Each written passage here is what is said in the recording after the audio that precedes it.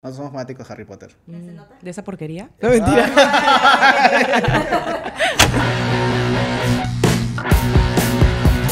Hola gente, ¿qué tal? ¿Cómo están todos ustedes? Bienvenidos otra vez a Está De Más. de Más. Mano, ¿cómo estás? Bien, men, bien.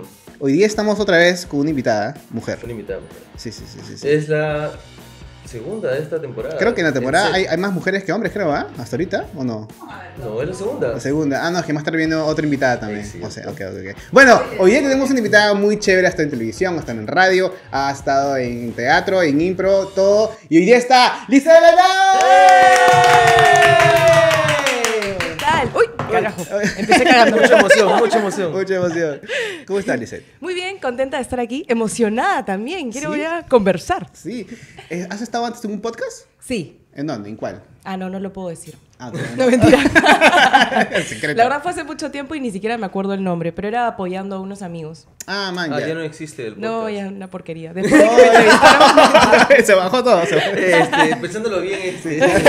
Sí, sí. Este, ¿Cómo estás? Bien, ¿no me ven? Sí, no, estás excelente. Bueno, antes que todo, nosotros nos conocemos, yo recién la conozco hace un par de semanas porque estamos en un proyecto trabajando juntos. Así es. Nosotros como audiovisual con Jorge y ella obviamente entre cámaras como siempre con las luces enfrente. ¿Puedes hablar del tema? Que sí podemos hablar porque esto, Sí, esto por sale cuando ya está estrenado el programa. Es más, en mi contrato sale que hablaríamos de eso. En la cláusula, ¿no? En la Hablar cláusula. Sí o sí. Cuéntanos un poquito sobre eso antes de empezar con, con toda tu trayectoria. Bueno, el proyecto en el que estamos trabajando juntos es Marmoleando. Es un proyecto que nace con Katia Treyes, influencer, creadora de contenido, mamá, emprendedora, arquitecta, diseñadora. ya aparece el intro del programa. Sí. Eh, que tiene un blog que se llama Afterparto. Del afterparto al afterparto. He venido a hacerle cherry, creo, Sí, ¿no? sí, sí. Así que la quiero un montón. Estoy súper contenta de haber hecho este proyecto con ella. Y bueno, nace desde la idea de educar desde el humor. Ahora, nosotras no buscamos educar nosotras, sino compartir nuestras experiencias. Ahí está el humor. Y, según el tema, invitar especialistas para que nos eduquen tanto al público y a nosotras también. Entonces, Sí. por ahí va. Está ¿Desde hace súper cuánto la chévere. conoces a Katia? Recién también. Eh, mira, la conocí virtualmente, será hace un año o menos. Comenzamos a, a comentarnos un par de historias, de cosas, porque compartimos un blog similar de- desde la vida de mamás, eh, contenido orgánico. Y, y de pronto un día me escribió preguntando por mis clases de baile. Le pasé el dato, se metió también y ahí empezamos a conversar más y un día salimos a celebrar que habíamos grabado un video juntas. Ella quería hacer un video de baile, me pasó la voz. Lo grabamos y dijo, ya, unas chelas para celebrar, ya. Fuimos, nos tomamos las chelas y empezamos, pum, pam, pim, a conversar un huevo. Y ahí le dije, oye, deberíamos sacar un canal, hacer juntas. Me imagino esta escena de, De de, este, este, de joven Yumada que acá dice, debemos sacar un bar. y usted, a sacar un, un programa. Oye, pero ha fluido, y pues su química es, bien- baja. sea, sí, sí, ha fluido bastante bien a pesar de no conocernos de tanto tiempo. Sí, o sea, de verdad me ha sorprendido lo que has dicho ahorita, porque yo pensaba que cuando grabamos el episodio, chicos, acá está el link abajo para que Eh. vayan, eh, ya se estrenó, no sé si hace un par de días, ¿Para no sé dónde señalo? semana. Esta es tu cámara. Ah, ya. Y esa es la general. Sí.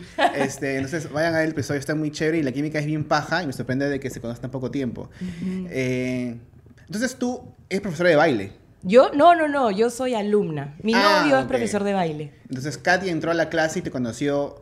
Ahí nos conocimos como, ya en persona, claro, las dos somos alumnas. Ah, ya, ok, ok. Y bueno, Katia, que es súper pilas, de pronto dijo, ya, quiero sacar un video de baile, como que a los dos meses de clases, Sí, creo. No, no Katy es, es bien, como Sí, dice. es- es sí, yo, yo de hecho hace mucho que quería sacar un canal, pero no encontraba una persona que sea igual de ágil o, o rápida que yo. Y ahora encontré a alguien tres veces más rápido. Y como, No, le digo, pero- "Rápido". Pero tú también eres bastante rápida y eso también viene porque haces job impro Sí, estoy haciendo y impro. actuación. Y teatro, y Teatro, radio, y todo. Es que en realidad también para estar enfrente, para ser alguien con un entertainer, como si tienes que ser Sí. súper rápido. Y eso es lo que a mucha gente también le falta, lo que está enfrente de cámaras. O sea, Sí. ¿Con qué empezaste tú? Eh, con teatro.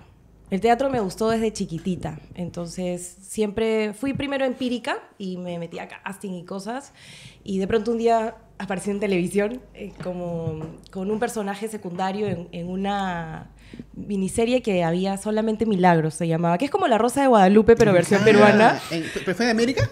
Sí. Una desgracia.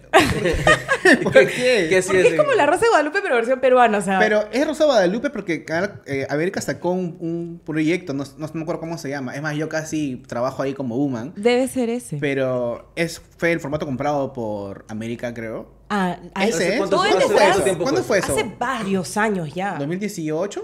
Eh, 2019? no, antes. Ah, entonces no es Antes, ahí yo ni siquiera era mamá y yo me hice mamá en el 2012. Ah, Ah. ah, pero eso no, se- no salió en Latina. No, fue- fue- fue- es Disculpen, americano. el 4, ¿ok? Ok. o sea, también he trabajado en Latina, pero... No, pero fue en el 4, solamente. Milagros. Es donde en realidad muchos de los actores que hoy en día son súper conocidos se han, han iniciado así. Claro. Ahí eh, ibas al casting y, y cualquiera podía entrar, en verdad. Yo no tenía eh, estudios, digamos, en actuación. Era una chivola, este, idiota. No, era una, una chivola con sueños grandes. Y fui y, y ahí empecé como a... a- a ahí empezó a gustarme más ya no solo el teatro, sino la televisión, porque desde chica me gustó el teatro, el escenario, el, el público en vivo. Y bueno, ahí empecé con teatro y una cosa me llevó a la otra y así. Y es, cuando dices en esa novela o serie o miniserie o lo que ese formato que sea. Era una este, serie, era, todos ok, los días eran serie. como que Ah, historias claro, distintas. ujú. ¿Ahí qué tenías? ¿Ya eras menor de edad o aún eras menor de edad? Es, no, ya mayor de edad, yo creo, porque, a ver, mm, ay, las matemáticas y yo. ok, pero ya, ya Sí. estabas ya en el mundo. Ya yo creo que ya había buscando. salido del cole, ya tendría unos 18. ujú. Ya, mi pregunta siempre ha sido a los, a los actores en general, es que ¿cómo uno se entera de los castings? ¿Es por contactos en, en mismos talleres? En caso tú, si no eras empírica, ¿cómo llegaste a- al, al En mi caso creo que fue suerte. Conocí a las personas correctas en el momento correcto, porque yo no había llevado ningún taller y la primera vez que yo piso un teatro fue porque ahí sí yo estaba en el cole y mis amigos me dicen, "Eh, nos han pasado la voz para... Mis mejores amigos también eran súper histriónicos, les encantaba actuar, cantar, bailar y me dijeron, nos han pasado la voz para un casting para una obra de teatro. Y yo, ¡Ah! ¡qué nervios! ¡Vamos, sí la! Pucha, ya. Fui, hice el casting y pasé, no lo podía creer. Nunca en mi vida había actuado más que las cosas del colegio que todos sabemos que son cualquier porquería. Entonces, Pero fui- depende del colegio, hay colegios que tienen su, su teatro enorme. el mío tenía su teatro enorme, pero no los artistas, digamos.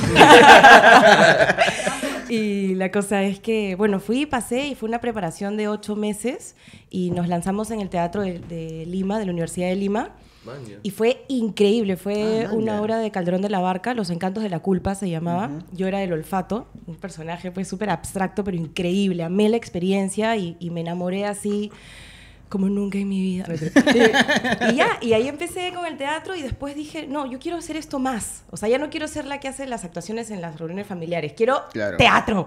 Entonces, ahí la energía es todo. Cuando uno quiere algo y está seguro de lo que quiere, como que la vida te lo da. Entonces, Claro. llegué a gente que me dijo, oye, ¿tú, ¿a ti te gusta actuar? Ya, mira, hay un casting. Ah, ya, bravazo. Y ahí fui a- al casting del 4 y bueno, pasé y, y así. un Pero poco llevaste un taller igual de actuación, ¿o no? Hasta el momento no, hasta ese momento no había llevado Ya. nada. O sea, fue Fue la la, empírica y- preparación de los claro. ocho meses para esta obra. Para mí fue como un taller porque Sí. me dieron con palo. En verdad ahí aprendí la base de todo lo que sé ahora. O sea, yo agradezco mucho que ese momento haya llegado a mi vida porque aprendí demasiado. ¿Y tu primer taller de actuación con quién fue? Eh, fue hace dos años. Ah, Ah, recién. man, ya Sí, recién. con, Claro. con... Ay, me olvidé su nombre, qué vergüenza. Y eso Ah, ah, Mira tu alumna, mira tu David alumna. Carrillo. Perdóname, David, si llegas a ver esto. Pero, y, ya, y- y impro fue antes o después? Eh, impro fue durante. Lo que Ah, pasa es que soy una persona que hace o todo o nada. O se deprime y se encierra en su cama, o sale y hace mil cosas a la vez. Entonces, de pronto dije, ¿sabes qué? Estoy cansada de que todo sea empírico y siempre llegue a todos lados como que lo dicen como por talento. Y dije, y la palabra talento a veces está ya Sobrevalorada. queda sobrevalorada, exacto. Y dije, no puede ser, quiero tener una base. Entonces me metí con David Carrillo, ahí también me metí a Escuela Imaginario Colectivo, a hacer impro, me metí con Manuel Aida que, a estudiar canto, y Ah, me me metí encanta a. Espacio Verde a hacer baile, y a Gils a hacer baile en tacos. Oye, pero ¿sabes qué? Es- eso es paja porque al final como artista... Perdón. que- Y me metí a hacer clown y ya. Ah, Eh, no, 80 mucho talleres. mejor, claro, eso está bien, porque justo lo hablábamos con un comediante, Juan Mancilla, de que él dice, yo quiero ser eh, com- comediante, pero quiero ser completo. Y como tú quieres ser actriz, improvisadora, y quieres abarcar todas las artes posibles para que seas completa, literal. Eso. Entonces, Es es- que está ahí chévere. me gustaría que más como improvisadora, actriz o algo me conozcan como artista. Y para ser artista creo que hay que saber de todo un poco. Claro. Tienes que ser bueno en una cosa, pero conocer todas las demás. Claro, y aparte con, hay papeles para películas o para televisión que te piden a veces un talento extra, ¿no? O sea, mandas Claro. tu currículum y dices, por si acaso, sé tocar guitarra, Sí, por de si acaso hecho, hacer esto. Arma vasitos también. hay... talentazo, ahorita mismo competencia. pero hay una campana por acá. Pero ahora, de hecho, de, de ahí nace mi- mis ganas de meterme a 80 talleres porque llega un punto en el que me iba bien y tuve muchas oportunidades, pero también se me cerraron algunas puertas en las que yo estaba muy interesada. Por ejemplo, empezaron a llamar a mi hija para novelas del 4, entonces yo la llevaba y dije, oye, yo también quiero hacer el casting, ya, y me pasaban la voz para uno que otro casting y no pasaba. Y era porque, claro, siempre había actuado por, por empírico, digamos, pero no tenía un talento real adicional, o sea, Una no base, llegaba con la claro. tocadita de guitarra, no llegaba cantando, sino, o sea, yo era atrevida, que es diferente, y eso me ayudó por mucho tiempo, que era, ah, ¿cantas? No, pero puedo cantar, la, la, y me lanzaban, ¿no? ¿Bailas? No, pero puedo bailar, y suá, suá. Así es como que claro. lo logré. Pero lo intento, ¿no? Claro, claro. cosa es decir, yo puedo hacerlo, otra cosa es sé hacerlo. Exacto. Porque llevé un taller en tal lugar. Y, y cuando eres joven, o sea, ya chivolo, digamos, el, el ser atrevido y esto lo valoran, pero cuando ya empiezas a llegar a cierta edad, que aún eres joven, pero ya esperan más de ti, ahí sí ya es necesario que, que sepas hacer algo más que lanzarte a, a ver si te sale o no. Entonces ahí dije, ¿qué está pasando? ¿Por qué no quedo? Y era porque no, no tenía nada extra. Y en uno de los castings, una de las chicas que me hice muy amiga y siempre me llamaba, me dijo, mira, tienes que regresar porque vas a entrar, pero regresa haciendo algo más. Tócame el ukelele, cántame algo, pero de verdad. O sea, regresa con un talento extra y ya estás. Me dijo, la actuación la tienes. Y dije, chuma. ¿Y un el casting para qué era? Para actuar en una novela del 4. Mm. Que de hecho logré hacerlo después con un personaje chiquitito de uno o dos capítulos. Este, pero no es lo mismo, pues. O sea, no es Claro, lo mismo claro, tener no, un no. personaje que se quede constante. Y, y para eso hay que hacer algo más que solo actuar. Claro. Y hablando de vasitos, ¿cómo es que llegas a combate? De ese tema no voy a hablar. bueno, como les decía, como solo actuaba y no hacía nada más, tuve que aplicar otras técnicas. No mentira. Otras habilidades. Otras habilidades lingüísticas. No, mentira. No, a ver, ¿cómo llego? Combate llego justo a la par en la que me lanzo a para solamente milagros al casting. A la par, yo ahí en ese tiempo estaba estudiando en la Toulouse. Ujú. Eh, y un día estaba con mis amigos en el break, así, ¡ay, coche tu madre! Un día Estábamos en el break y de pronto llegan un grupo de tres personas con unos cartoncitos así colgados, sus credenciales, que eran de ATV. Y dicen como que estamos recolectando gente para un casting, que no sé qué. Y a mí me interesó apenas los vi, pero por hacerme la chévere decía, "Ah, oye, ¿ustedes van a escribir? No, que no vamos a escribir, decían todos. Y yo, ah, yo tampoco. Y me quedaba ahí, ¿no? Pero entonces si acá, acá, mírame los ojos. Esa es mi oportunidad. Hazme contacto visual. Hazme contacto visual. Entonces, según a que la gente se distrae, yo me abro el grupo y me acerco a uno de los chicos. Hola, ¿qué? ¿Para qué? es? Y me explican, ¿no? Ah, mira. Es para un programa nuevo que va a salir, sobre, es un programa concurso, donde concursos, eh, haces eh, competencias y ganas plata. Y yo que soy ultra competitiva dije, me van a pagar por hacer lo que me gusta, ganarle a la gente. ¿no? Entonces dije, ah, qué chévere, ¿y cómo es? Y me dijeron, mira, inscríbete acá y te vamos a llamar. Y yo, ya. Y me, me- o sea, puse todos mis datos y listo. Y de pronto un día me llaman y me dicen, has pasado la primera fase del casting, que no sé qué. Y yo, ¿y cuándo hice mi casting? Y era que ellos recolectaban los datos de todos los que querían anotarse, pero algunos les ponían el asterisco, que era, a Ah, esto sí llamo. ella- Más ella o menos sacan ser. los perfiles que necesitan, pues. Sí. Y, claro. y la vaina es que me llaman, pucha, fue muy gracioso. Me llaman para ir al, al casting inicial, que era una cámara y eran siete personas como en una tribuna y la cámara. ¿no? Ah, la.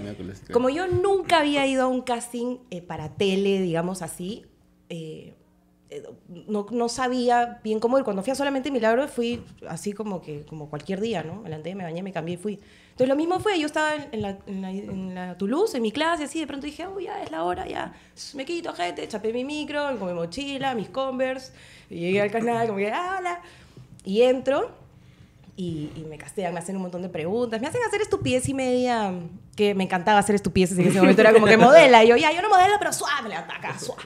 ¿No? Le metía el, el chongo, que eso era, era experta. Entonces, nada, me fui y me llaman y me dicen, oye, pasaste, increíble, nos encantó.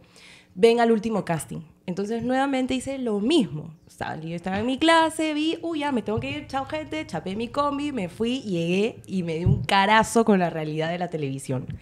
Encontré a muchas de las chicas que hoy en día están en los realities aún, maquilladas, pero así con base Ah, pero a y, tú kilos. fresh, o sea, Yo estaba, salí del instituto, yo de por sí eh, a diario no me maquillo, me maquillo cuando vengo acá porque bueno, van a colgar un programa y hay que hacer algo por la gente, ¿no? Pijama, pero claro, claro, claro. si no, en verdad, a cara lavada a diario, ropa cómoda, siempre igual siempre trato de estar como a mi estilo, cómoda.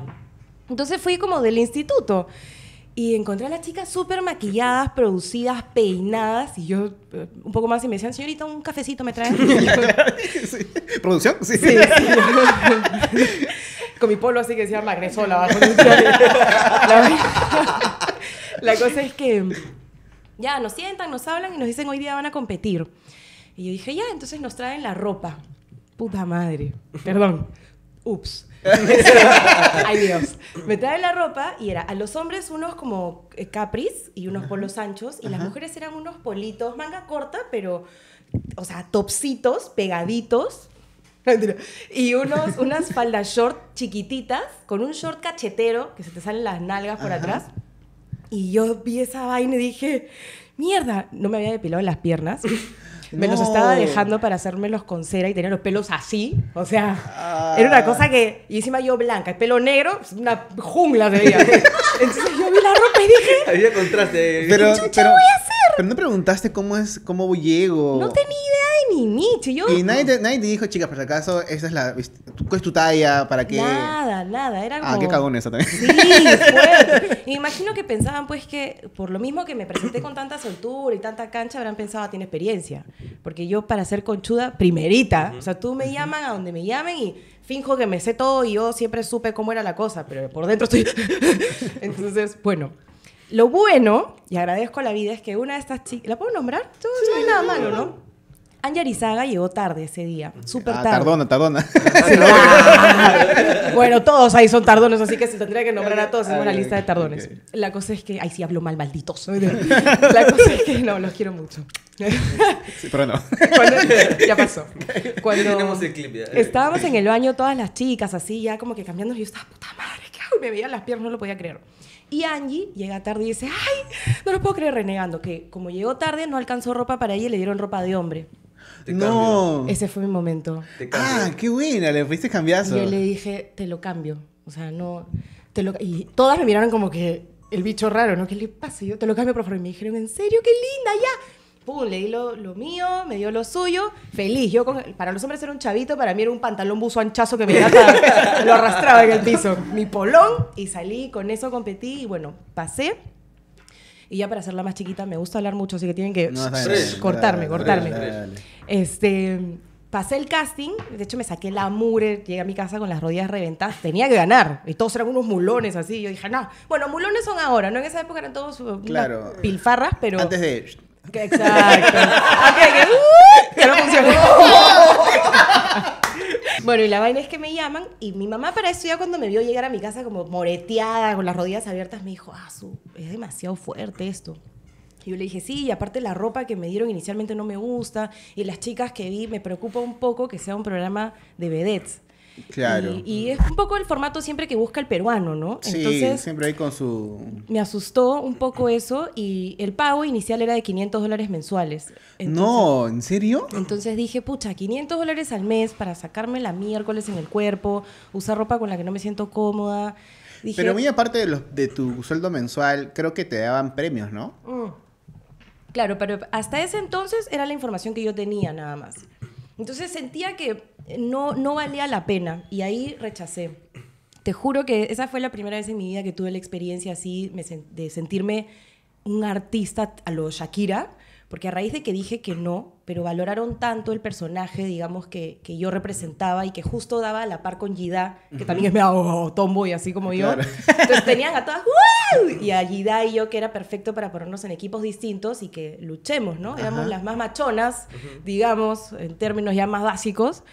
Eh, y, y que ella también quedó y era perfecto. O sea, no había otro perfil que encaje con el de ella. Entonces, uff, me persiguieron, no saben de qué manera. Se aparecían en el instituto, al punto que yo llegaba encapuchada, tal Ah, cual. te, te fam... Pero yo nadie me conocía. Ah, no, ni no, mi mamá. pero, No, pero te te o sea, el, los productores te toquearon hasta que te consiguieron, como No, no, no, no, no. O sea, me conocieron como les dije, sino que a raíz de que ya me conocen y les digo que no, empezaron a hacerme persecución para que como Claro, sea firme. claro.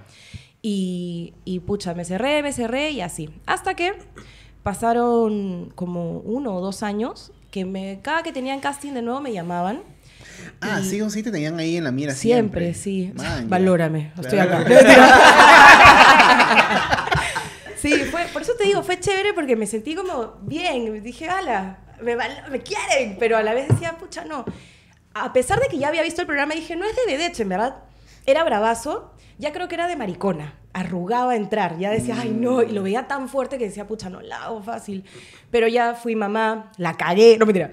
Entré en, en, en Ah, este ¿te has entrado proceso. después de ser mamá? Sí. Ah, man, ya. Entré, eh, o sea, ya tuve a Micaela, empecé a tener problemas con su papá. Nos íbamos bien ahora, increíble, Ah, por ok, favor, ok. no estoy hablando mal. Pero al inicio fue complicado terminar, chivolos inmaduros, entonces tuvimos algunas discusiones. Nos fuimos a juicio y ahí yo estaba shh, entre pañales, leche, juicio, Claro. abogado. Dije, necesito plata. Ahora, y a mí nunca me ha gustado el trabajo de oficina. ¿Juicio se, se cayeron a casar o solo por Sí, pero, Ah. sí, pero no era juicio para divorciar. Nos hemos divorciado años después. Eso tomó más tiempo. sino de, de régimen de visitas, alimentos. Claro, claro. Entonces, ¿cómo es la mente? No, yo, pucha, necesito trabajar. Y nunca me gustaron los horarios de oficina. Quería algo como rápido y plata fácil, digamos.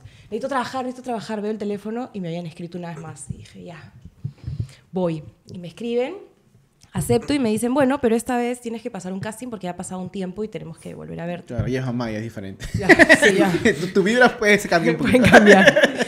Y bueno, fui y pasé el casting y ese mismo día me dijeron, ya, hoy día entras al aire. O sea, no me dejaron ir porque sabían que no Ah, volvía. man. Y, y Qué ya. locazo. Y ese día entré. Digamos, o sea, digamos que ese casting fue protocolo nada más. sí, Pero, sí. pero, pero ya parece entonces el suelo ya había subido, porque ya no puedes tocar Claro. mismos dólares con una hija. pues, Igual, al principio todos ganaban lo mismo. Conforme fue avanzando el programa, la gente ya iba ganando diferente. Ah, no. Al principio, cuando recién entré, eran, ganaba 800 dólares mensuales yo. Ojo. Man, ya. Pero, ¿y de dónde salió esas su- sumas que salieron después? O ya más. Hay muchas tiempo? de las sumas que han lanzado en- Que son falsas. Son falsasas. Ahora, sí la gente ha llegado a ganar bien porque igual yo fui escalando también. Y yo en ese momento dentro y había gente que ya era conocida y ya ganaba mucho más, me imagino. Yo, por ejemplo, mi proceso fue de 800 dólares a, a 1200. Después nos convirtieron a soles y, y igual lo máximo que gané yo fueron 10.500 soles mensuales. Mm, O sea, fui claro. escalando y eso fue mi tope. No, no llegué a... Pero hay gente que, que ganaba más, hay gente que ganaba más que eso.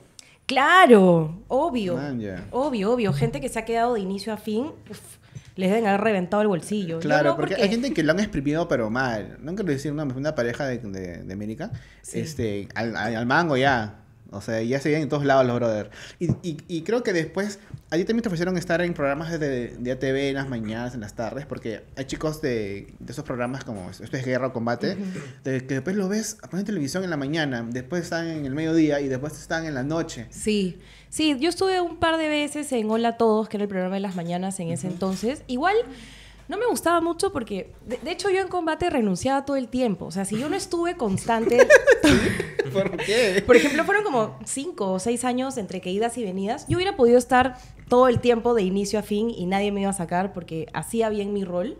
El tema es que, ay, yo peleaba mucho con, con mis valores, mi forma de ser, como que no, no encajaba en la huevada y el- que- Claro. entonces, igual en los programas a los que tenía oportunidad de entrar, todo era dentro de una temática, digamos, que no iba mucho con lo que yo quería hacer. Entonces, a cada rato decía, no, ya no aguanto esta mierda, renuncio. Y me decían, pero no sé qué, o no me aparecía. De pronto ya no llegaba Luis y me decía, ya, lo, Lice, ¿qué pasó? Anda, sí. Pero tu contrato decía si faltas tres veces te, una multa o algo. ¿o no? Ya, eso es un tema bien gracioso porque yo al principio, por ejemplo, ustedes han visto, soy súper puntual. O sea, a mí me citas a una hora y a esa hora en punto estoy en la puerta o antes verdad, esperando sí, que sea la hora para tocar el timbre.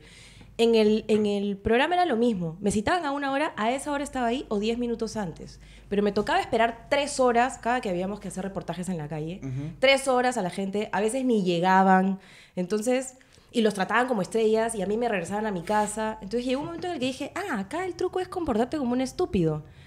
Y te juro, empecé a, a no llegar, a llegar tarde, a hacer lo que me daba la gana. Oye, me subieron el sueldo, me empezaron a tratar mejor, me mandaban a recoger. Imagínate. Oye, y no- Entonces, y, no, es mentira, weón. me acabo de dar cuenta que me escribió, llegué a las 10 en punto. Sí. 10.00, hasta, estaba la- hasta así como que. timbre, 9 y 59 me bajé el taxi.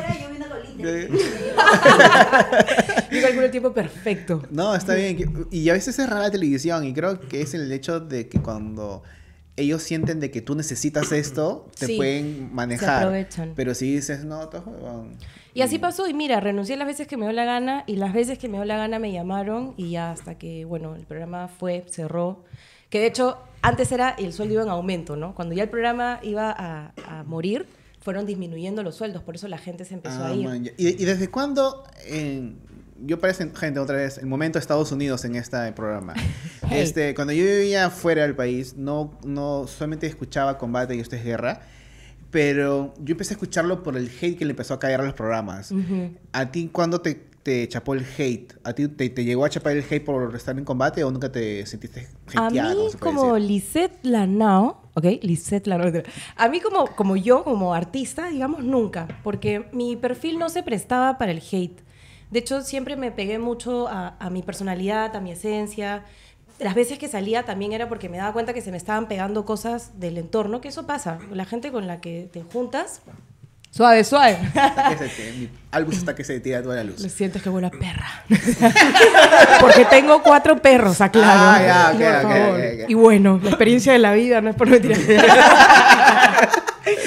y, y bueno, a, a mí personalmente no me cayó. Solamente una época, no por el programa en sí, sino porque me tocó enfrentarme de boca con Michelle Soifer y las Michilovers pues salieron a la defensa y Ah, ah, me hateaban un poco, pero en sí como que la gente de verdad haya tenido algo contra mí, no, para nada. Y ya después ya sales de, de combate.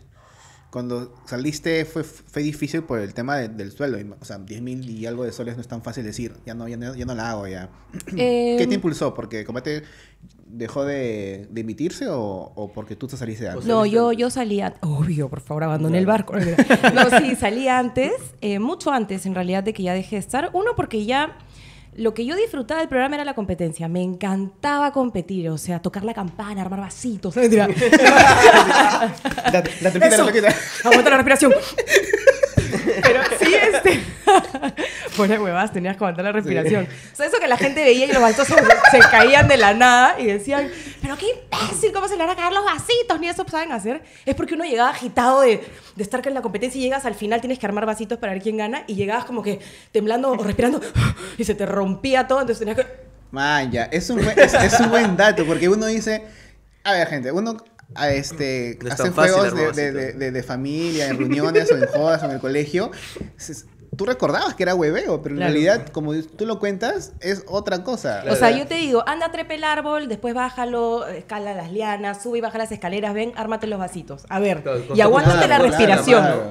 Llegas temblando, no es tanto los nervios de armar vasitos, es del ejercicio que acabas de hacer. Eran, o sea, por más que la gente diga eso son huevadas, eran competencias bravas. No, sí. Bravas, bravas. Justo Poli, que también estuvo en este programa, ella también estuvo en combate o estuvo de esto? En- combate. En combate. Ella también cuenta, pues, huevón, eso no es fácil. No. O sea, es físico, tienes que tener físico. A Poli porque- le costó un montón ah, llegar a, a ser buena y se volvió buena cuando ya la gente era mala. Y lo digo con confianza porque Poli es mi amiga, o sea, ¡Ay, no! es mi amiga, yo la quiero. Esa tan buena no era. Tan buena no era. Es que, o sea, valga Nunca fue bueno, entonces. Todos se fueron malos. No, es que ya al final, cuando ella ya estuvo pues gran, buen tiempo, ya había modelos más que competidoras, digamos. Claro, porque ella también cuenta en, en el podcast que acá está, sí digo que acá está, ojalá que lo ponga, eh, que acá está el episodio con Polly de que ella era, la un- era una de las, las pocas de las chicas de que en entretiempo ella estudiaba. Claro. Eh, porque ella también estudiaba para hacer impro, actuación, no sé qué También estuvo con David Carrillo, pues. Mm. De hecho, yo me meto a David, con David Carrillo por ella y después me meto a Imaginario Colectivo por ella también. Man, ya. Justo Jorge me pasó un clip que y no lo había visto, que lo vamos, a- lo vamos a poner acá. Ay, por Dios. copyright, no. Pero Shevchenko te noqueó. Ah, sí. ¿Cómo fue? Acá O sea, hay una foto Yo creo porque que eres una de las pocas este, que chicas que puede decir que tiene el honor Oye, es verdad. de haber sido noqueada por Hoy una mismo luchadora posteo. profesional de la Es MMA. que cuando uno es calidad lo ponen a, mechar así. Ahora ya, en- en- en- Sí. ya, primero cuéntanos la experiencia, pero antes que quiero saber si es- eh, po- esta foto de acá que vamos a tener, ¿fue por eso o no? Ah, ya, sí, pero eso fue bastante exagerado. Ah, Este, ok. Muchas de las veces que, que pasaban accidentes, a veces nos pedían exagerar un poquito para que la gente entienda el Claro. descanso médico y no lo tome como que Ok, te vas a pero descansar. ¿esto fue por eso o Eh, fue en otra ocasión? ¿O no recuerdas? No me acuerdo. Eso creo que fue cuando me dio un latigazo en una competición ya, ok, ok, ya. Entonces contemos primero la de porque yo vi el video y me cago de risa. con Valentina. Sí. Ajá. Bueno, Valentina para esto es un amor de gente y es la persona más femenina del mundo. O sea, es como que a la hora de pelear, yo una vez la fui a ver pelear, casi me muero. O sea, yo fui, Valentina, no. Porque vale, ella- vale. Sí, vale, vale, vale, máxima. Porque ella estaba en el programa y era como que súper linda, tierna, amorosa. Entonces yo decía, ¿cómo esta huevona mecha? No entiendo. ¡Pah, mierda! Me noqueo. Acto seguido me noquea. Pero todo se lleva desde el amor porque obviamente no lo hace con una mala intención. Claro, sino es que el juego era bastante brusco. Evidentemente era mucho más fuerte que yo, aparte que ya tiene pues técnica en, en los brazos para golpear, experta en golpe. Y, y con, por, con ese, por eso todo bien. Pero a raíz de eso también, como nos hicimos amigas, me invitó a una de sus peleas y algunos del programa fuimos. Pucha madre. Fuimos a un sitio que era así como en un sótano donde hacen peleas de gallos con unas Ah, jaulas así. Super underground, así. Sí, y, y son tribunas y los peleadores están como abajo. Entonces me tuve que zampar como que 11 mechas antes de que llegue la de ella, que era la final. y Peleaba con una brasilera ella. Y bueno, las mechas fueron fuertes. Yo soy un poco sensible ante el dolor ajeno. A mí sácame la mierda y sí voy parada recia. Pero le pegan a alguien, puta madre, me duele en el alma. Entonces yo veía, la- Dios mío, no quería ver más. Ya, que venga Valentina. Y yo no sé por qué me imaginaba a Valentina como... ah, uh. Oye, Empujones, ¿no? te juro, ay, agarradita de pelo. Las mechas duraban unos minutos, ¿no? Su buen tiempito. Llegó Valentina, no duró ni un minuto la mecha. Voy a ver si la No. encuentro y se las paso. No duró ni un fucking minuto y le reventó la cara a la pobre mujer. No. O sea, entró Valentina como que, ¡ah! ¡uah! Y yo la veía con una cara que nunca, con la vaina esa, con- que les ponen en la boca. Y la otra chica, con sus tres, así, ¡ah! Y yo dije, ¿qué es esto? Y en eso ya la cuenta, ¿no? ¡Sua! ¡Pum! Valentina agarra, mete un cohete, se da un giro, patada, la tipa en el piso con el ojo reventado, sangrando. No, Y ella, eh. Y ganó, te juro. Fue así. Qué Y- locazo. Y, ganó. Y yo llorando, viendo por la pobre mujer. Desde ahí ya, Valentina, ¿qué tal? De lejito nomás. Hay, hay cosas de que, es- es- es- es- creo que hacer como un paréntesis, de que a veces uno paga, hace pay-per-view para ver las peleas y duran un minuto. Yo, puta, he gastado 40 dólares para, o 40 soles para que dure un minuto, ¿no? Yo nunca más volví a ver una pelea porque traumada, curada quedé de ese día, te juro. Y, y Valentina es campeona mundial, ¿eh? No, claro, no, puta, Sí, pero yo le paré el macho ahí en el juego. Ah, ¿verdad? sí, si me claro. noqueó, me dejé. También Des- dijeron. Desplomada. A mí, el, el manager me dijo, déjate noquear porque hay que dejarla ahí. Yo ya, tranqui, no le voy a hacer daño. Pero el golpe que te da ella fue con, con, Con los hisopos. cosas, pero fue, o sea, sentiste la fue porque obviamente se ve como que fue ¡pam! Pero en realidad sí fue un golpe. Sí, fue un golpe fuerte. Igual le metí su exagerada para que no me vuelvan a pegar. de- o sea, porque si Claro, no, me paraban de no, me volvían a, a pegar y ahí sí dormida. Como futbolista, ¿no? Ahí, ¡ah! Sí, como Neymar, como meterla- Neymar. Pero sí estaba un poco mareada, de hecho, fue, fue fuerte. Pero bueno. Lo que me dio risa de ese video es que todo el mundo llama a Clínica La Luz y nunca llegaron los hijos de puta. Eso siempre pasaba en el programa, siempre. O sea, de hecho una vez me disloqué el codo, en un, pero en otro programa, fue en Titanes, que era en, en Latina, y también en unas jaulas nos hacían mecharnos. eh, y bueno, las chicas todas eran mucho más gruesas que yo. Yo podía ser muy ágil, eh, y, pero no tanto así como que pesada, fortachona, ¿no? Entonces, en temas de... de agarrarnos en el piso, a veces me ganaban por peso. Y en una de esas estaba con Vania Bludado, que sabemos tiene tremendo... y, y ella me dobla el brazo y se sienta en mi brazo y ¡tua! se me disloca el codo y, y se me regresa al lugar y yo como que... Y, y ahí me sacan del esto y yo como que... Y la gente gritando y no querían parar hasta que se dan cuenta y ya se revisan las imágenes, me disloca el codo y se regresa al sitio y ya. Y me sientan en un costadito y me dicen, espérate porque la ambulancia solo viene una vez. Vamos a esperar si más gente se lesiona durante el programa. ir a- O sea, no. ¿Qué hablas? Ay, qué pendejo. ¡Qué basura! Y como era un programa grabado, ni siquiera en vivo, que bueno, sabes que va a durar dos horas, no sé por qué los programas en vivo son así, grabas, pum, pam, todo sale al toque, ¿no? Pero cuando es un programa que se supone que es en vivo, pero lo hacen grabado, carajo, son como seis horas de grabación. Sí, creo que es para cuidar bien. O sea, no quieren arrepentirse de cosas. Bueno fuera que sea para volver a grabar, así. No, hacen lo mismo, pero eh, más lento. Ponen la cámara, te llaman. Y bueno, yo ya llego como, pasó como una hora y dije, oye, está llorando por favor. Y ya, dijeron, ya, mándela, mándela. Y me mandaron a, a la clínica. Una pregunta, o sea, hablando de, de otros realities donde has estado. Si no me equivoco, en uno de esos realities. Esa cara de pícaro. Ya, pregunta, a un grano. pretendiente ahí. Ay, no, por favor. ¿Qué fue con Debí de pensionar eso cuando me dijeron de qué no quieres hablar. Yo, tranqui, pregúntame lo que quieras. ¿Qué fue con esa experiencia? ¿Qué, qué, qué fue con.? Eh, no, grande, grande. No, mentira. No, mentira. No, en realidad fue medio armado. Varias de, de las cosas que he hecho en tele relacionadas a romances han sido armadas. Claro. Y lo más gracioso es que yo no me arrepiento de nada en mi vida, más que los Armanis que he tenido en, en los realities. Nunca me presté para vainas armadas. Un par de veces sí. Y no sé por... Bueno, ay, lo voy a decir ya. Ya no creo que lo vean. Pero con cada imbécil, que puta madre, digo, ¿por qué no elegí? Por lo menos yo dije, oye, con este, ¿no? Yo, ya, ya. Bien huevona. Uno de esos fue y de verdad, eh, no sé si puedo contar esto porque es un poco fuerte, pero Me quedo en shock. Yo también, sí, yo también. Sí. Y mi risa. Si quieren saber, si quieren saber qué ha pasado, vayan a Premium. Así está. es. Debe estar ya activado. si no, esto va a borrar.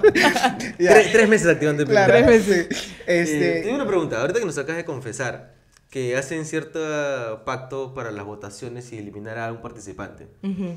¿En todos hacen lo mismo? sí, siempre nos ponemos de o acuerdo. sea, y uno ya sabe quién se va a ir, ya. Entonces, eso como que es hacer. ya te el- das cuenta, ¿no? Porque ya la gente viene y te dice, oye, todo bien, tranqui. Entonces tú dices, Ah, ah, vale, hoy día me voy. O sea, ya me saben voy". quién se va a ir. Entre nosotros, sí, sí. Pero el que se va a ir, ya sabe que él se va a ir. Eh, sospechas. Siempre tienes la esperanza de que no seas tú a ¿Y quien vayan a votar. hipócritas de acercarse y decirle, oh, No, pecador. Pero es igual, en todo reality tienes que sacar a chamba. alguien, tienes que sacar a alguien en todo reality y tienes que decir, puta, sí, pero la Se cagaste. pues, ¿no? acercan, le hablan al oído. Es tu chamba Sí, sí, y es cuidar también tu, tu personaje, porque tú no puedes Claro. ser frío si se está yendo alguien cercano a ti, porque la gente te va a hacer mierda y va a decir, oye, y qué, qué maldito, no, no. si va que votas por él. Entonces No, tienes y, que y aparte tienes que estar en modo televisión, pues. Exacto. O sea, Y sí. lo- Como lo- si fuera una lo que novela. más risa me da es que siempre hacen que sean iguales y al final uno tiene que decidir. Ajá. Claro. ¿Por qué? ¿Qué? Es, es show, Sería- es sería más- televisivo. Sería más divertido que todos voten por uno y el otro se quede No, solito. eso, eso pasó No. una vez y le pusieron una multaza. El, el canal entró en, en juicio y todo. ¿Por qué? Y con el canal 9, en combate, había una chica que se llamaba Carolina, no recuerdo su apellido. Una chica, mira, como ser humano hermosa, ¿ya? Una Ya. ternura, era súper, eh, eh, media huevona, sí, pero linda, pues. Y, pero era un cero a la izquierda y en esa época la competencia era fuerte y en verdad nos tomábamos en serio la camiseta. O sea, en algún Claro. momento sí existió un rojo, un verde de mierda, tenemos que ganar. La Claro. hueva te escuchó tu madre". O sea, sí era real, había conflicto real por la- las ganas de ganar, habían premios enormes. Y llega esta chica "Eh", que nadie entendía porque había pasado, que no estaba ni desatada, que no le salía ninguna prueba. Entonces, ninguna competencia. Entonces llega el momento de toca votación y producción no quería que la saquemos, pero nosotros dijimos, o sea, ah, ningún equipo la quiere. Pero ella, por ella, ustedes perdían competencia. Claro, pues, porque en la competencia grupal estamos ya ganando y de pronto entra ella y puta, nos ganan una ventaja así de cinco horas, un poco más si teníamos que hacer tres programas más para que termine de competir. Entonces, llega la hora de votación y todos dijimos, no, que se vaya. Y no me acuerdo Claro. con quién estaba al lado y todos nos pusimos atrás de ella y producción nos decía, pero y nos enseña si Ah, nos cagamos ah, la ustedes noticia. friazos. friazos atrás de, para que, del otro para que ella se vaya y no nadie votó por ella. En un momento a mí me dio pena cuando nos pusimos de acuerdo y dije, aunque sea unos cuantos, si yo quería, pero me acuerdo que Pantera vino y me dijo, oye, tú te pones con ella, que no sé qué, no sé qué, me dijo, ay, me conché tu madre, ya no me pongo". Yo a Pantera lo adoro, mi chocolatito, siempre le he dicho, nos llevamos increíble, pero esa amenaza que me dio, yo dije, mierda, ya no, no, no me No, pongo. claro, Oye, todo, ya- todo dentro del chongo, ¿no? Ajá. Y este. Y, y ya. Y su mamá, si no me equivoco, o ella misma, ponen una denuncia al canal por bullying y que eso no se hace, porque finalmente pues el canal debió Qué medir un poco la situación. Sí, fue- Bueno. pero se deprimió y todo. Pobrecita. Claro, tú dices que es sensible, pero imagínate que te hagan algo así. Y ponte que A ella- nivel No, nacional. pero-. Pero, ponte que ella tuvo mala expresión en el colegio y tenía bullying y, Y se va a televisión abierta y entonces ay, tú no sabes qué le pasa en su vida pasada, pues juegan antes de ¿Qué televisión. inseguridades tiene? Y aparte, el, tema de estar en Oh, qué malos son, televisión. qué mala eres. ¡Soy una mierda! Lo acepto, lo volvería a hacer.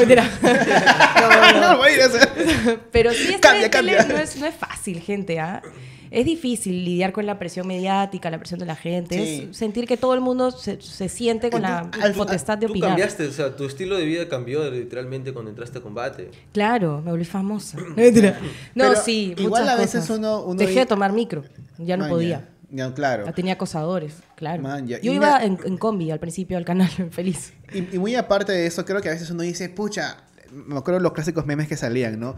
Yo con dos doctorados y no gano ni siquiera 10 mil soles como ellos. Mano, y está bien, pues ya, tú estudias, pero toda la presión que ustedes sentían también, creo que es justificable. O sea, Sí, es- es igual, jodido. Alguien cuando, por ejemplo, mi hermana trabaja haciendo contratos que son muy, y hay mucha presión, su sueldo vale por la presión, no, no tanto por el conocimiento, sino también por toda la presión que llevas. Además, yo te digo una cosa. Tengas la profesión que tengas, por ejemplo, seas abogado, doctor, si te conoce todo el Perú, vas a ganar un culo de plata. Si solo te conocen tus cinco pacientes, no, pues. Entonces no te compares con un- una persona que sale en tele que la conoce todo el Perú. Claro. Es diferente. Ahora, si bien es cierto, sí acá eh, es muy fácil entrar a televisión y es muy fácil ser artista. O sea, que te nombren artista en, en Perú es muy fácil. Pisas el set y ya eres artista. Hoy tenemos el artista no sé cuántitos. ¿Quién es? Alguien que se mechó con X y a raíz de eso se hizo famoso, ¿no? Claro. Entonces, eso es lo que, con lo que no estoy de acuerdo. Pero con los sueldos no, porque sí hay una chamba detrás bien fuerte con la que hay que lidiar, que es pendejaza.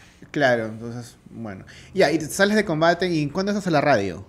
Eh, estando en combate, yo me hice muy amiga del jefe, el que era la voz. "Eh, no sé qué", ya, Ya. él, este, Luis Enrique. me hice muy amiga. Yo tenía dos semanas en combate y, y me hice muy amiga. No, mentira.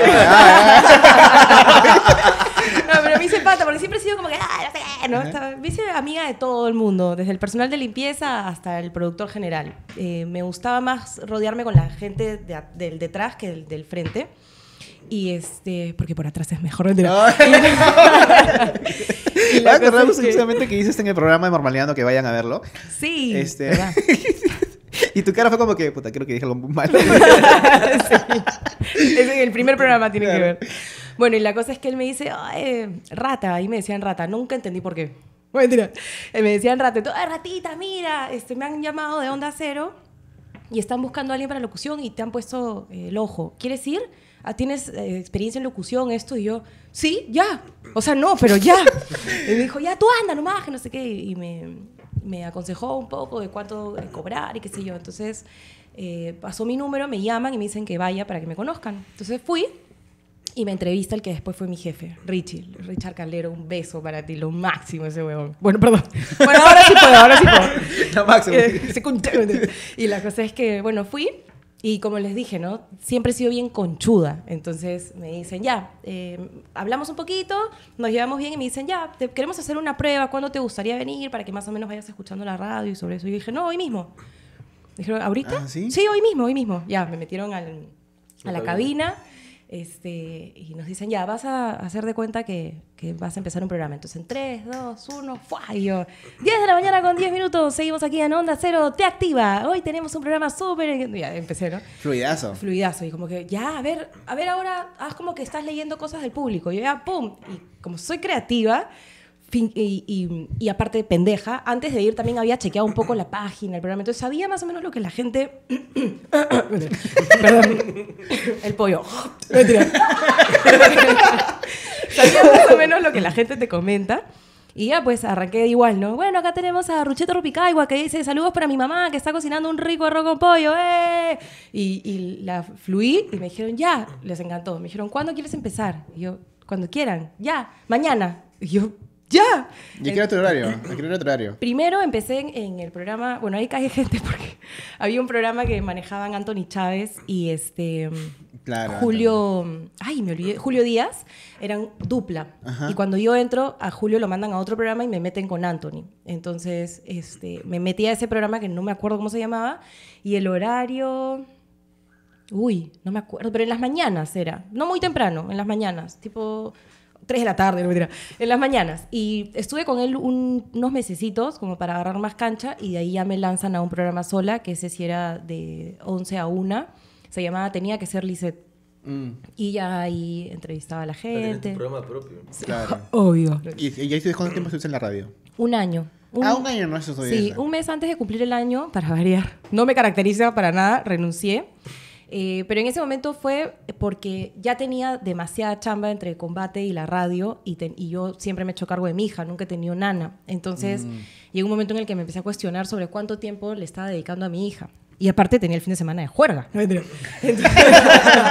había Eso que puede- equiparar. claro, eso no hacer. Entonces dije, tengo que dejar uno de los dos. Y la radio me pagaba bien, pero combate me pagaba mejor. Y Claro. como aún estaba en juicio y esto dije, no, ¿sabes? Me quedo con, con el programa de tele pensando que, vi- viéndole más futuro. Hoy en día digo, puta, debí dejar el programa y quedarme en la radio porque amaba.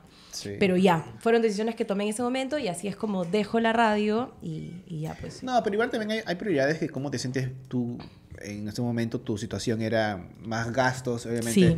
de televisión gana- ganas mucho mejor que en la radio, la radio es Sí. más feeling. La mayoría, por no decir el 90% de la gente que he conocido por, por la radio, dicen, esto hago porque me, enga- me, me gusta demasiado. Sí. Y están ahí. Muy pocos y ya ganan bastante en la radio, Ujú. que son unos como, no sé, Galdo, Que son los chicos reality. Este, no sé, la gente que tiene años ahí. Claro. Entonces, pero los demás están ahí como que es una fase, pero ya no, es- ya no la radio, yo creo eso, no sé si estoy hasta las huevas, pero creo que la radio ya no Sí, es un medio para, para saltar como que al medio, porque la radio, escucha- la gente te escucha, pero no es tan mediático como la televisión, pues obviamente. Totalmente. O Sí. como internet ahora. O como internet ahora. Sí, que ahora todos hacen- hacen Las YouTube. plataformas virtuales son las que van a... Son el futuro prácticamente. La tele cada vez está... uh, así como los chicos pichicateros. así tenemos a la tele. Y, ahora, justo quería hablar contigo un tema así súper rápido, que ese día que grabamos marmoleando, este, fue la primera vez que comí un menú vegano. Ah. Yo también. Rico, papi. Y yo dije, ay, ¿qué- me dijeron, ¿qué quieres comer? Este, lomo saltado. Y yo, ya, lomo saltado. Y después me encuentro con una carne blanca, me así dije. Y ya me di cuenta de que, eh, eh, que era A mí me vegano. gusta la carne negra. Este, y te pregunté, ¿de ¿dónde era esto? Me dijiste que tú eres vegana. Desde Sí. hace, ¿Cuánto tiempo eres vegana? Vegana hace tres años y ocho meses. Justo ayer saqué la cuenta porque alguien me lo preguntó como exact- con exactitud. Eh, bueno, ya para cuando suelten el programa, vega- hace cuatro años. No, mentira. Pero bueno, menos de cuatro años y sin comer carne, este pollo y todo y esas cosas, ya como cinco años más o menos. ¿Y cómo así llegas a esa, a esa decisión para dejar de comer carne? Porque, no sé, tú, tú antes de ser vegetariana o vegana, ¿eras mucho de comer carne o era como algo que no te gustaba mucho? Carne no Como- tanto, siempre me ha caído un poco pesada, pero sí full pollo. O sea, el pollo era mi mejor amigo. Claro. De verdad, me, encantaba el pollo. Y, y era todos los días pollo. Y, y pollo, pollo, pollo. Y de pronto, ¿qué pasa? Yo era rescatista. Bueno, soy, pero ahora soy más de recolectar dinero. Antes era rescatista de, de cancha. O sea, iba a llevaba perros a mi casa todo el tiempo, armaba campañas de vacunación, desparasitación. Ah, qué paja. Y estaba como a- ahí metidaza en un albergue que hasta el día de hoy apoyo. Entonces, un día llego como que de una campaña súper profunda, digamos, de ayudar a, a varios perritos, gatitos. Y, y estaba en mi casa y me había pedido un pollo a la brasa. Lo estaba comiendo y por primera vez en mi vida dejé de ver al pollo como comida. Porque uno te sirve en el plato y tú ves comida, no es un animal. Claro. Pero de pronto vi un animal y veía la alita y la piernecita y decía, me dio una sensación horrible. Dije, ¿qué, qué- o sea, qué hipócrita me sentí. ¿Me entiendes? ¿Qué, qué está pasando? Como que vengo de salvar a estos animales y me estoy comiendo a este, ¿por qué? Como que no le encontré la lógica. Y, y ahí me entró el bichito, ¿no? Entonces lo compar compartí este sentimiento con gente de mi entorno y nadie me entendía, me decía, güey, muy intensa, ya no te pasa. Está bien que Claro, ames a los claro. animales, pero nunca tanto, o sea, ¿qué vas a comer? Y yo, es que no sé, y, y- y no conocía yo lo que era el veganismo. Entonces ahí empieza un poco mi, mi curiosidad o mi sentir sobre que algo no estaba bien en mi alimentación. Entonces eh, decidí como dejar de comer carne, pollo, jamonadas, embutidos, estas cosas. Y me volví vegetariana, pero una vegetariana que comía pescado. Ujú. Que es lo regular que uno hace siempre, Es- creo. suele pasar. Lo común, lo común creo que yo. Entonces, cuando me vuelvo vegetariana, bueno, pesetariana es el término correcto, ahora lo sé, eh, empiezo a conocer gente que también se alimentaba así. Y o me preguntaban, cuando veían que yo no comía carne, oye, ¿que eres vegetariana? No, no, o sea, me alimento como un vegetariano, pero como pescado. Y ahí me dicen, ah, eso se llama pesetariano. Y yo, ah, Pesetariano. Ujú. Maña, Y qué ahí hay, con- hay mil términos, ovo lácteo pesetariano, ovo lácteo vegetariano, o sea, hay millones, ¿ya? Entonces, de hecho, el término correcto para la dieta que lleva un vegano es vegetariano estricto. O sea, vegano es eh, la postura ética, pero la alimentación Mm. es vegetariano estricto. Ah, mañana. Y ya, y ahí este, me empiezo a conectar con gente así, que entendía un poco mi punto, y encuentro eh, esto del veganismo, lo que significaba, me invitan a ver un documental, y en este documental me muestran el paso a paso de lo que vive cada animal antes de convertirse en ropa, en pestañas, en comida, Claro. y dije, llorando así, ¡nunca más! y, y ahí resolví todas mis dudas en este documental. Pregunté, por ejemplo, mi novio en esa época quería subir de peso. Y yo, pero los vegetarianos siempre son, los veganos suelen ser gente delgada. Y me dijeron no. Y los que hablaban eran gente así gordita. Entonces me dijeron como que soy ve- vegano hace 10 años y me estás preguntando. Y yo como que, ah, ya. Entonces rompí algunos mitos como que es caro, que nada que ver, puedes comprar tus cosas en el Sí, mercado. justo. Y ese menú que estaba buenazo y la calidad era súper dos arriba. Y estaba, que 15 soles me dijiste que estaba ese menú que... De- desde venía- 13 hasta 15. Claro, y súper contundente. No sentí para nada la falta de carne. Es más, el tofu.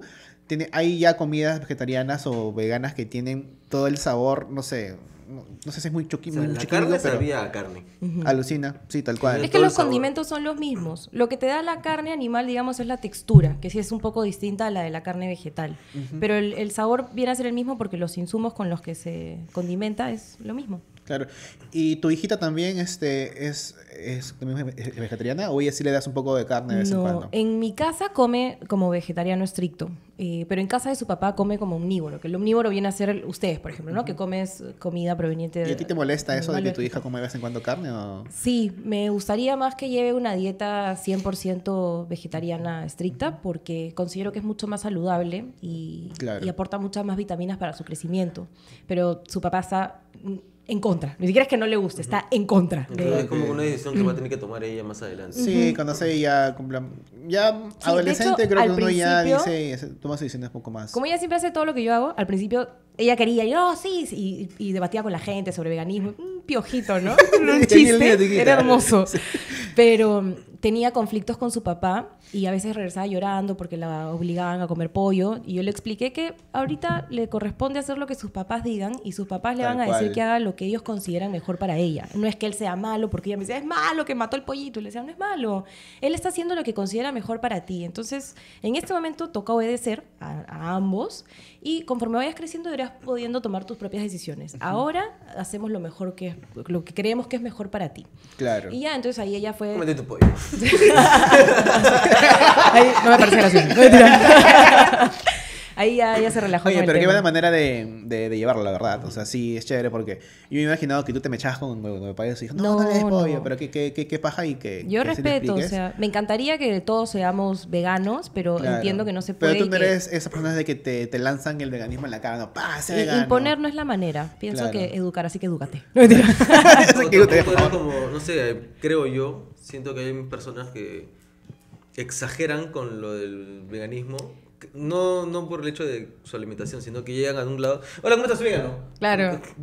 Sí. Nadie Claro. te preguntó. Como en toda Sí, lucha, son- yo son creo muy que intensos algunos, ¿no? hay, hay, en toda lucha pasa, hay diferentes eh, personas, diferentes formas de, de llevarla, entonces es válido también, ¿no? Sí, está bien, está bien. Y tú te has convertido, como quien dice, en una influencer que crea contenido por el veganismo. Sí, soy activista vegana y uso mis redes para transmitir sobre ¿Qué veganismo. paja? ¿Y eso desde cuándo? ¿O tú con misma usaste tus redes o como dice el poder de tu de, de tus seguidores para empezar con eso? ¿O alguien te incitó a hacer, hoy deberías... No, yo, yo nació por, por cuenta propia. Desde que me vuelvo vegana, eh, y me doy cuenta que había más gente que pensaba como yo y que no era de intensa realmente o de loca, sino que en verdad es un sentimiento que tiene validez ahí dije, siempre, o sea, yo ya venía de un tiempo atrás viendo, o sea, mirando mis redes y diciendo, qué estupideces estás haciendo acá, ¿no? Como que mi contenido era entretenido, divertido muchas veces, pero no tenía un propósito realmente. Era un influencer más. Entonces, yo venía buscando como que el propósito, el qué quiero, realmente qué comparto, aparte de que la gente me mire y se ríe, qué aprende conmigo. Claro, y ahí viene la diferencia de ser un creador de contenido y un influencer o influenciador o alguien que influye a la gente, porque si quieres influir, tienes que ¿verdad? saber lo que hablas. Claro. Y tener un propósito. Tal cual, un mensaje bien dado, pues, ¿no? Exacto, entonces ahí dije, es perfecto esto me, realmente me mueve, me apasiona, no le encuentro el sentido a mis redes, por aquí es. Y ahí empiezo como que le doy ese giro y a raíz de eso me va mucho mejor con las redes. ¿Y dejar un consejo para alguien que, que verdad ha pensado en el veganismo o ser vegetariano estricto? Este, algo porque mucha gente tiene miedo de decir, no, la carne tiene nutrientes, te puedes enfermar. Justo te conté ese día en la grabación de que la influencer se llama Giovanna, no me acuerdo el nombre que ella hacía libros y, y, era como que el veganismo, que ser vegana, vegetariana, y al final ella en un video se le ve que ella está comiendo un pescadazo enorme. Claro, malazo. Y su libro se fue... Ya le mandé la moto. claro, y al final sus seguidores le metieron el... Ah, la cancelaron por todos lados a la, a la chica. Obvio, pues pierdes toda credibilidad. Y ella dice de que al final el doctor le dijo, por tu dieta que llevas, necesitas carne de vez en cuando. Entonces, ¿qué tan cierto es? O sea, si es necesario a veces comer carne o algo que vas a aconsejar. Todo lo que necesitas para alimentarte lo encuentras de origen vegetal. La única vitamina con la que tienes que suplementarte es la B12 sí o sí. Que de hecho, hoy en día, por el nivel de estrés que todos llevamos y, la cantidad de problemas de salud mental que existen, ya la B12 no solo se recomienda para personas que llevan una dieta vegetariana, sino para todas las personas en general. Mm. Porque la vitamina B te ayuda con el sistema nervioso, con el cerebro, el funcionamiento correcto de tu cerebro. Entonces, para todos es recomendable suplementarse con B12. Además que el exceso de B12, ponte que tu B12 está perfecta y tú tomas B12 todos los días igual, el exceso se bota por la orina. No es como otras vitaminas que si las tienes en exceso te pueden generar algunas complicaciones. Esta no. ¿Y el B12 son pastillas? sí, son, son pastillitas que hay chupables. Ajá. ¿Ah? Te chupo todo. Te las pones debajo de la lengua. Tengo 10 cajas en mi casa. Te chupo todo el B12. Experta, experta en chupada de B12. Te la pones... Dicen que sí, no me Este... mi, mi novio es vegano, ahí ya tengo harta B12. a la avena. Hay pastillitas que te las ponen. A la boca, te las pones debajo de la lengua, se derriten y ya está. Otras que se toman, otras que son inyectables, que te duran como tres meses y así. Esas son las que la pasada me, mi, mi, esposa me llevó a hacer yoga y el instructor, este, él se inyectaba creo que lo comentó que ahí se inyectaba B12. Y eso es muy caro, o sea, porque mucha gente dice que ser vegano, como dices tú, que no es tan caro, pero el B12 es caro, esas pastillas inyectables. No, para nada. Un, un frasquito de los que me duran como tres meses me cuesta 100 soles. O sea, es mm. el único gasto, digamos. de ahí la comida la encuentro 30 soles mensuales, como quien dice. Sí. Este, y ese es el que yo tomo, ¿no? Porque hay diferentes marcas, como te digo, el inyectable, ya depende de uno. O sea, para toda la vida hay que investigar, hay que leer y hay que buscar lo que a uno más le acomode. Entonces, a mí ese me viene bien. Pero hay, hay de todo tipo, no, no es caro para nada. Y como te digo, te ayuda muchísimo al sistema nervioso, al funcionamiento correcto de tu cerebro, entonces es una inversión que vale la pena. O sea, siempre voy a decir, ya, pongamos que son 30 soles mensuales en tu B12.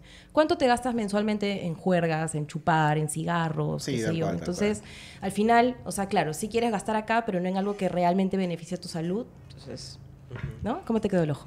No, no me quedo sorprendido. Así, gracias por estar con nosotros. ha sido muy divertido, la verdad. Este, se ha pasado rápido. Se ha pasado súper rápido. Llevamos más de una hora, Lucina. Sí, me di cuenta, la verdad, me quería bueno, gente, gracias por estar con nosotros en, esta, en este episodio este, con Lisette. Bueno, acá, por ejemplo, como siempre, están las redes de Esta de Más. Jorge Arza. Jorge Arza, Alex Fuera de Mick o Fuera de Mike. ¿Y tus redes? La Lisette.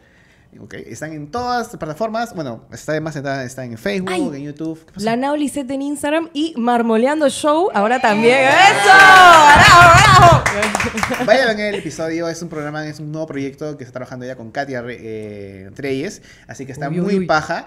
Eh, y bueno, Casi la caga, casi la caga. Descontratado. No, despedido. Descontratado. Dame mi D12, por favor. bueno gente, con eso nos despedimos, ya saben que acá está el QR de Yapi de Please si quieren apoyar este proyecto, o abajo está el corazoncito con la monedita. Así, con Todo lo que es- ya peguen hoy día mitad mitad, no se Sí, claro. Así que con eso nos despedimos gente, Y nos, vamos gracias. a- y nos vemos en Premium, ¿ah? Que hay Sí, si es ahí. que está activado acá el premium, porque... No, tiene que estar, pues si no, Ya. ¿para qué he venido? Y ahora... Yo traigo la primicia calientita. bueno, acá está el premium, ya está, está tres soles nomás tres luquitas nomás es mensual. Apoyan este proyecto para que siga, para que tengamos nuevos tan como Lisset. Y con eso nos vamos. Nos vamos. Eh. Vamos. Pues,